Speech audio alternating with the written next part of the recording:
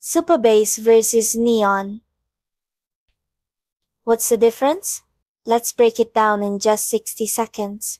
Both are modern database solutions, but they serve different needs. Let's dive in. Supabase is an open source Firebase alternative. It offers PostgreSQL databases, authentication, real-time APIs, and storage, all in one platform. Neon is a serverless PostgreSQL platform focused on scalability. It splits compute and storage for cost efficiency and offers instant branching. Use Supabase for all-in-one backends.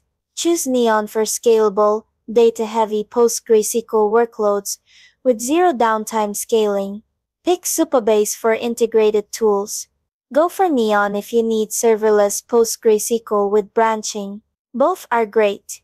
Which one fits your project? Let us know in the comments. Like and subscribe for more tech comparisons. Thanks for watching.